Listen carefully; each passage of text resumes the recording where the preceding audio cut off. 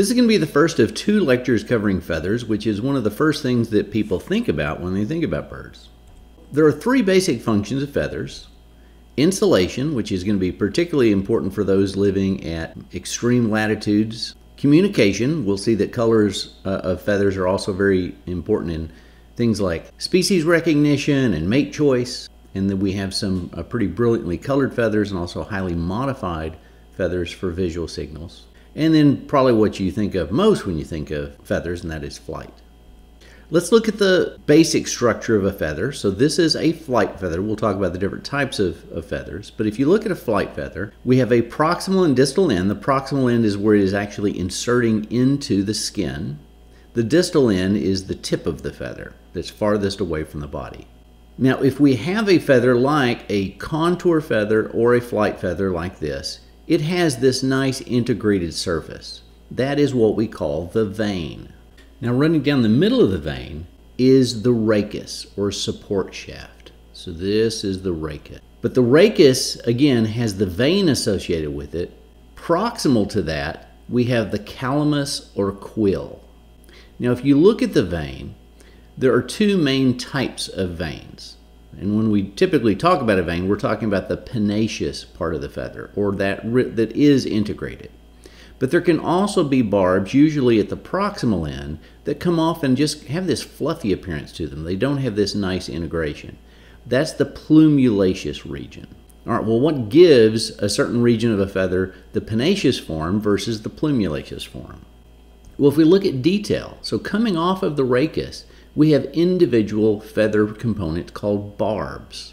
So the branches coming off of the rachis are the barbs, and the barbs themselves have their own individual branches coming off called barbules. Now the barbules that are closer to the calamus or the closer to the body of the bird, those are the proximal barbules. Those on the other side of the barb are the distal barbules. Now, if we look at that up close, there's an important distinction between the proximal and distal barbules. When we're talking about a very nicely pennaceous feather, what holds it together is the fact that the distal barbs have these little hooklets on them. And these hooklets actually grab on, kind of like Velcro, to proximal barbules on the next barb. We can see that kind of better here. We've got two uh, barbs with proximal barbules sticking off here. Then we have the distal barbules sticking over and overlapping the proximal barbules of the next barb. And they actually grab hold with these hooklets. So probably a lot of you have picked up a, a feather that you find walking in the woods somewhere and you can unzip the vane, right? You can separate the individual barbs.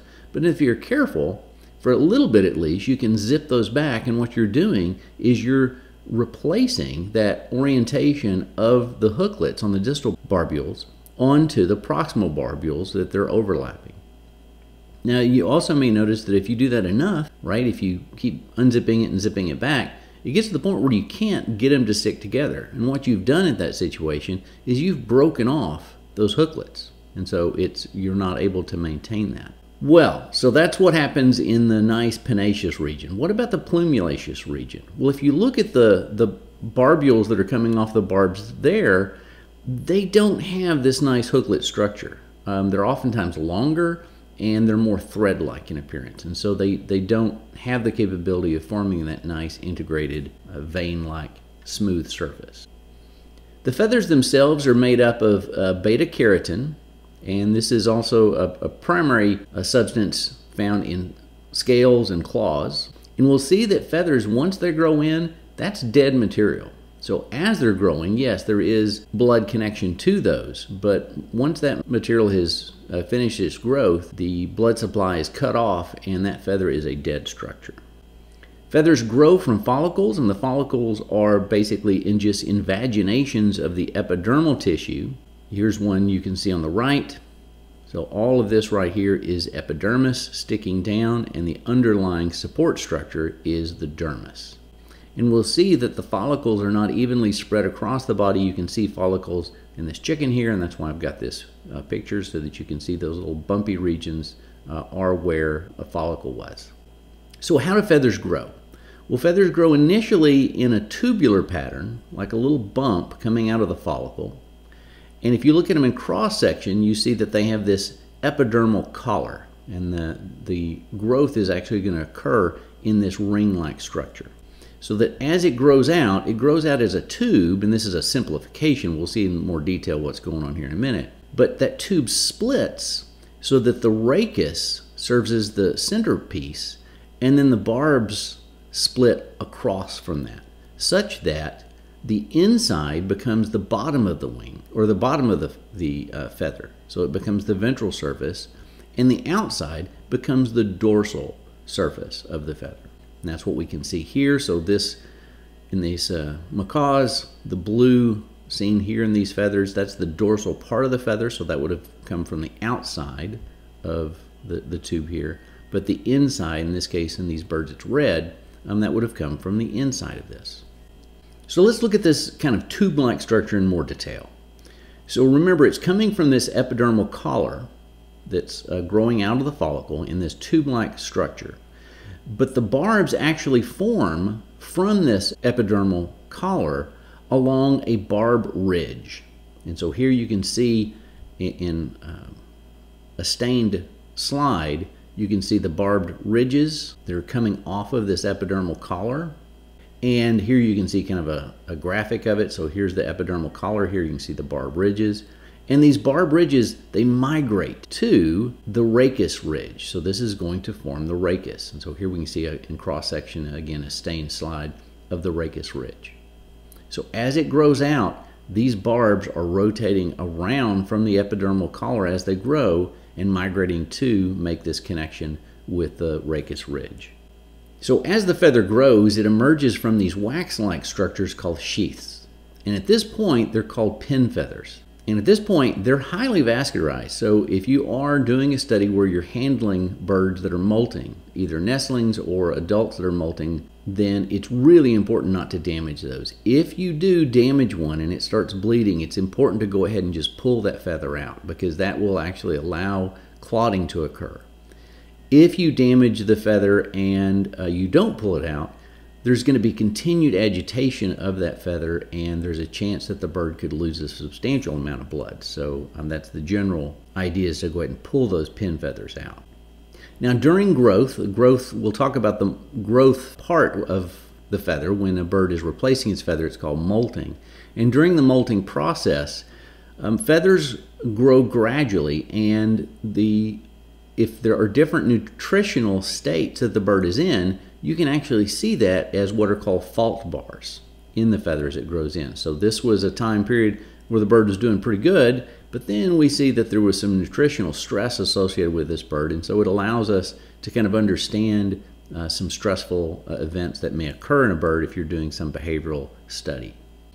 So, how did feathers evolve? So, when you talk about the evolution of a complex structure, for it to evolve by natural selection, you have to be able to explain how the structure could evolve in phases, with each phase being slightly more adaptive than the previous phase. That's the only way natural selection is going to mold a trait that is an adaptation. Now, the old hypothesis was that feathers were derived from scales that simply became lighter and uh, frayed to provide maybe some insulation and, and, then also a flight surface. But it turns out that if we look at it genetically, uh, feathers and scales really are not homologous. And our new hypothesis is that they have evolved from these hollow tube-like uh, structures that started off with just, you know, like these hollow tubes, kind of like just these filaments. And we're going to see that there's some evidence of this in early dinosaurs, in early theropods, actually before theropods. So this was the first stage. Now, what could have been the function of that at that point? Um, well, even that could have provided some mechanosensory uh, functions, perhaps even some very limited thermal thermal regulation capacity, um, maybe some coloration. We're going to see that there's evidence of coloration in early feathers of, of dinosaurs. But the next step would be to have the individual barbs coming out there. And this would have produced down. And down is definitely capable of thermal regulation. So this would have been a very important step up uh, and an advancement as far as an adaptive function of feathers. The next stage would be to have taken that initial presence of, of barbs, but have those barbs grow along across a larger structure called the rachis, right? And so here we have the individual barbs not just coming out of the calamus or quill, but actually having this extended rachis. Now you could have still maintained that, and so this could have provided a little bit of extra covering and, and maybe protective covering for some underlying uh, down type feathers. But to hold that together better, then we would see the evolution of barbs, um, but those allowing those barbs to stick together the next phase would be having the distal barbules have the hooklets that would provide this nice supportive integrative vane, which provide even a better outside coat to the individual but this would also allow for the potential evolution of more specialized feathers in the last stage, like the flight feathers. And then also um, some of the more bizarre kind of feathers associated with, with display uh, in courtship. So I mentioned that we do have evidence of uh, some very early non-avian reptile lineages having feathers. So, and again, it can predate even the theropods. And these are the ones that did have those hollow tubular feathers, as shown here.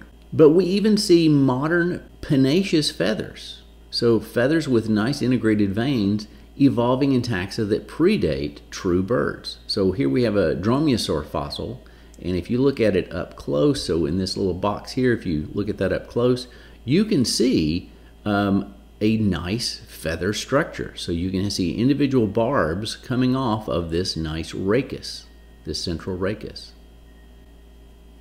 We even see evidence in some of the better fossils that preserve some remarkable detail that there's evidence of color patterns in some of these theropod feather fossils. We know this by looking at, see these red dots are showing some of the areas that were looked at in detail under a electron uh, microscope. You can see that they had what are called melanosomes. And melanosomes are bodies in cells that store melanin. Not only that, but we can tell by the structure of the melanin in these melanosomes what sort of colors there could have been. And so here's a reconstruction, including some uh, grays and blacks and, and, and browns, and even the potential, in some cases, for iridescent colors due to the relative stacking the melanin in the melanosomes. We'll talk about color formation and iridescence in a later lecture. All right, so um, that's basically what a feather is and the basic parts of a feather. Um, the entire coat of feathers that a bird has, we call that the plumage. And again, this is a, a similar theme. Birds want to stay as lightweight as possible. And yes, the term light as a feather does indicate that individual feathers are light, but collectively, the plumage equals about 5 to 10% of a bird's weight, which actually is even greater than the weight of the skeleton is about two to three times the weight of the skeleton in most birds. So, uh, feathers are light, but you still need to minimize the number of feathers that you have. And so, feathers are really not even evenly spread on the skin. They come out of follicles that are concentrated in certain areas so that their distribution can cover up bare parts of the skin, but they're not spread evenly. And so, this is just a weight saving, feather reducing uh, capability. The feathered regions are called pteryla, which are showed stippled here, the pteryla. The parts that feathers do not grow from are called apteria. Now this again helps to serve this serves the purpose of reducing weight by reducing the number of feathers, but we'll see that there's actually some reasons why you don't want to have feathers in certain regions um, by allowing, so for example, in hot environments, allowing wind to get to these uh, bare patches, it can allow birds to thermal regulate. Well, so how do birds control the position of their feathers?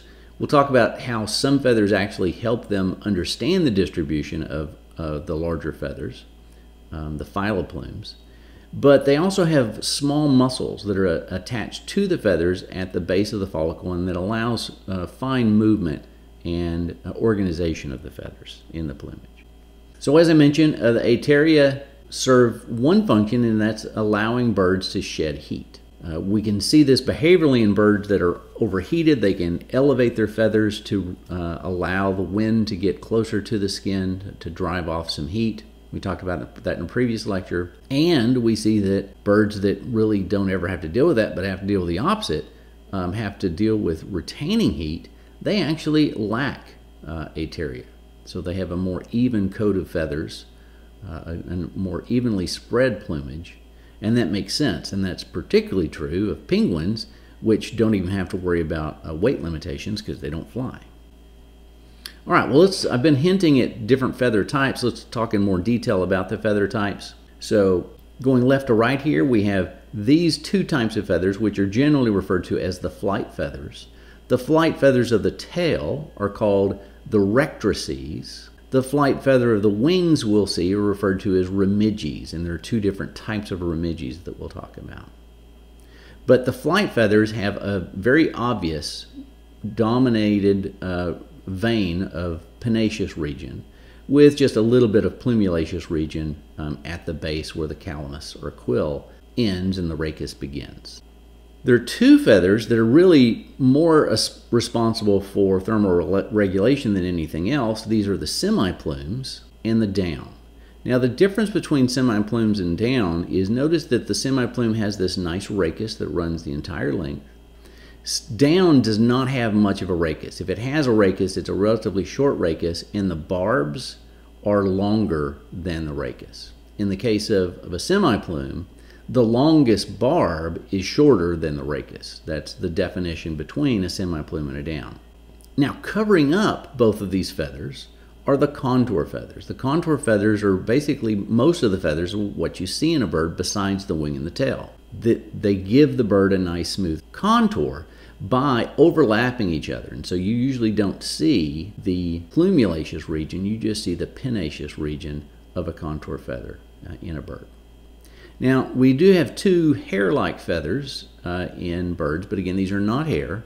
The filoplume are mechanosensory, so they're helping the bird feel oftentimes the distribution of feathers so that their muscles can control their, their uh, placement. Bristles tend to be much larger and uh, thicker, and they also serve mechanosensory uh, functions, but in a very different way, oftentimes associated with the bill and sometimes the feet. Okay, down as I mentioned, uh, no vane, uh, no integrated pennaceous region. They're all plumulaceous. Again, a very small or no rachis, and their function is insulation. Now, there are different types of down. The down that a bird is first born with is called natal down. And natal down can be very prominent in uh, birds that are precocial, or birds that are actually hatching with a large amount of feathers. Uh, but some birds don't. Some birds have very minimal natal down when they first hatch, or um, none at all. Uh, and they have to, to grow that uh, in their first few days. So it tends to be thicker in the precocial young, and especially those uh, species living in really cold environments. Now, these the natal down actually grows from follicles spread out all over the body, including follicles that will eventually be used for other uh, feather purposes. The next type of down is what we see in adults, uh, and this is body down, and it does grow from its own follicles. The amount of uh, body down that we see in adult birds varies depending on where they live. So if it, we're talking about an Arctic or subarctic species, um, then they're going to have a lot of down, right? Because they need to uh, keep warm. Tropical species tend to not have much down, also not have a lot of semi-plumes. The reason I have this picture here is this is actually a, I think it's an eider. Uh, it's some kind of very northern breeding duck. And what birds in this region oftentimes do is they actually pluck some of their own down and line their nest with it to kind of help insulate the nest during growth. But it also serves an, another purpose. They're, they're plucking the down from their breast area so that it allows more efficient contact of the skin uh, brood patch that the adult is producing so that they can transfer heat to the eggs more efficiently. So we'll talk about that when we talk about incubation behavior and nesting. There's another type of down that's relatively rare. It's only seen in herons and pigeons and some parrots called powder down. Powder down is a kind of very simple feather that just kind of grows out and then disintegrates into this fine powder. It apparently has several functions. In some cases, it has uh, the capability of preventing parasites or helping to dislodge parasites or uh, dissuade them from uh, attacking uh, the host feathers. But it can also provide some waterproofing, and that is particularly important in some of the herons. Now let's move on to the feather that looks kind of like down, but again, it has a much more substantial rachis. It has a rachis, and some remember some down doesn't, or a small rachis. But it also has just typically these really um, uh, plumulaceous regions coming off of the rachis. So the barbs are not finding this nice integration. Again, their primary function uh, being underneath, in most cases, the contour feathers is insulation, but some of them have been modified to extend past that and have been modified to produce these visual displays, which are oftentimes used in courtship. So that's what we're seeing here in this egret. Now talking about the hair-like feathers, the really teeny tiny, uh, very thin ones are called filoplumes, and again, they're tactile. So they're mechanoreceptors and they help to monitor the position of feathers. Much larger and stiffer type of feathers are the bristles. And these really are hair-like. Um, they are usually found around the head. If they're found around the mouth, they're called rictal bristles at the base of the bill, and they help a bird sense where prey is while they're trying to subdue it. So it's oftentimes seen in aerial insectivores very prominently. Sometimes it can be seen to cover up the nasal uh, openings in the bill, so it provides a protective function in that case. So in the lab, look at the uh, crows and ravens. They have very dense bristles that cover their nasal openings. Some birds actually have pretty nice eyelashes that are produced by these bristles. Uh, so that you can see it here. Uh, if you look at an ostrich, it also uh, shows that. And some of the aerial insectivores, again, it just helps to provide some protection to the eyes. So the function of these uh, oftentimes are sensory or protective. Uh, when it's sensory, sometimes they can be found in uh, nocturnal species, oftentimes, that um, have bristles associated with their feet. Let's talk a little bit more about flight feathers, though. Flight feathers are the large vein feathers of the wing and the tail. And as I mentioned previously, the wing feathers are the remiges, and the tail feathers are the rectrices. We focus on the remiges for a minute. These are the flight feathers of the wing, and we can break these up into two categories. The primaries are the ones shown in green here. The purple ones here are called the secondaries. And the number of these varies from group to group, but in all cases, they're numbered from the middle part of the wing.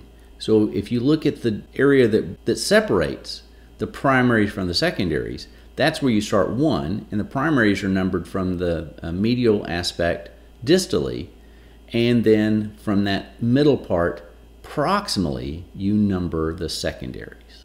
Well, how do you know where they start and begin? I mean, what, what distinguishes a primary from a secondary? It's primarily where they attach. So the, if you look at the remiges, they attach via ligaments to different bones. The primaries are attaching to the manus. The secondaries are attaching to the ulna. And if you look at an ulna, these little bumps that are on here, these protuberances, these are calcified areas where the uh, feather is attaching to that ulna. If you look at the wing of a bird, you'll notice that the uh, primaries at the tips are much more asymmetrical than those that are more medial. And we'll talk about this as an important aspect of flight dynamics, uh, aerodynamics later, the physics of flight.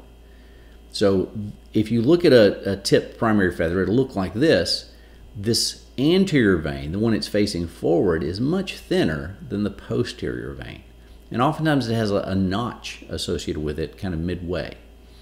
This will allow actually some separation of these wing feathers to actually, they act almost like individual little wings. So we'll talk about the, the importance of that, particularly in species with broad wings to, to reduce the amount of drag that they have.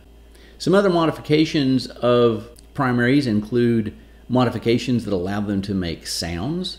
So if you look at a woodcock in their flight display, and we do have some woodcock that nest down here in Texas during the wintertime. So if you go out right at uh, sunset, you can sometimes in, in the right habitat, you can hear these uh, woodcock displaying.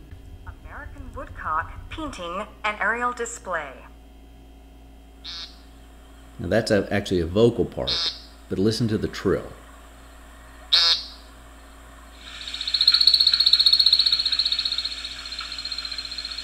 That latter part there, that is the part that is uh, produced by modified primaries. Now the opposite end of that are birds that don't want to make any noise while they're flying, and that it, includes most owls. So they have these really fine modifications of their barbules that give it this soft pile coat, and then also these fringed tips that work to uh, reduce the amount of, of sound reverberations as the wind goes over their wings. Other modifications of primaries include those to make a visual display. So this is a standard winged nightjar, which has this modified primary to, to make these flags used in courtship. Moving on to modifications of the secondaries. So um, this is a club wing manakin, and this is a male on the left that is displaying to a female on the right, and they make these really loud popping clicking sounds by beating together some of their secondaries that have been modified into these like castanet like structures. So here's a close-up of what some of these look like. So we're looking at secondaries 5, 6, and 7, and you can see that 6 has these ridges on it, and there's this club-like uh, feature to 5 so that you can beat 5 and rub it against that to make this stridulation-like uh, sound. But they do it really, really fast, and it makes a, a popping-like sound. So here's an interesting article. Hopefully you can see that. Um, I, am not able to play that right now, but uh, I'd like you to, to play this. I think it'll give you a greater appreciation for what these club wing manakins are doing with these secondaries. Secondaries can also be modified for visual displays, and so in a, this duck here, this mallard, these are the secondaries, and they form this visual display, which is called the speculum. Moving on to rectrices, again, these are the flight feathers of the tail. They're attached to the, those fused caudal vertebrae called the, that make up the pygostyle. And while there is some lift generated by tail feathers, we'll talk about that when we talk about flight dynamics.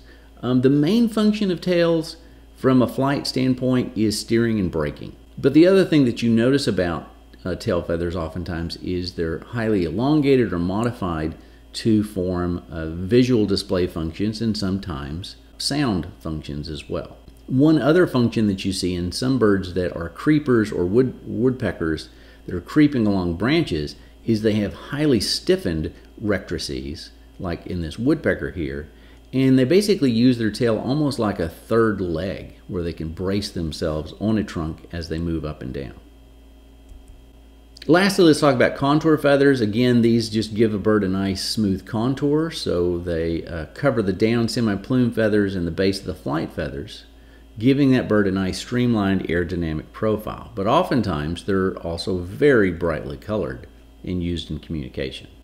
Again, the tips of the contour feathers are pennaceous and the underlying uh, proximal part are plumulaceous, and so they may also help in some regards with insulation. Contour feathers are interesting with regard to how they deal with water depending on how loosely the spacing of the barbs and barbules are. It turns out that if the barbules uh, and barbs are not tightly packed, it actually allows them to be better at shedding water. It makes them more waterproof. Now, sometimes helping along with this are oils from a gland that we'll talk about later called the uropygial gland which is found at the base of the uh, tail. This bird on the right here is actually gathering oils from its uropygial gland right there. So in combination with the oils and then the loosely spaced barbs and barbules, uh, birds are pretty good at shedding water from their feathers. Um, as the term goes, you know, shedding water like off the back of a duck. But some birds don't want to do this. Some birds actually don't want to uh, have too much air trapped underneath their feathers. They actually want to have water adhere to their feathers and absorb that so that they can dive more efficiently. And it turns out that uh, tightly spacing causes water to adhere to these feathers and allows them to dive more efficiently, like in this anhinga. Problem with that, though, is once they get out of the water and they want to potentially fly again, they have to dry their feathers out. And so you'll see anhingas spreading their wings uh, after diving to dry them out. One final point about a contour feather is some birds have what is called an after shaft, which is a secondary shaft coming off the calamus or quill that produces more of a semi-plume like feather that's attached to the more contour like part of the feather. And this may provide some extra insulation or in some species provide uh, some display function like an emu. It's not seen in a lot of birds. Uh, it's found in emus, and then uh, grouse have this. And then finally, uh, contour feathers, I mentioned, can be modified with brilliant colors for oftentimes we'll see species recognition, but also more importantly, mate choice. And that's why males tend to be brighter colored in most species of birds than females. But also the shape of the contour feathers can vary, as you see here in this crowned crane and this palm cockatoo with their kind of crest-like structures. All right, that'll do it for this lecture. In the next lecture, we'll talk more about the molting process itself and how birds really work hard to keep their feathers in good shape. And we'll spend a lot of time talking about what gives different feathers different colors.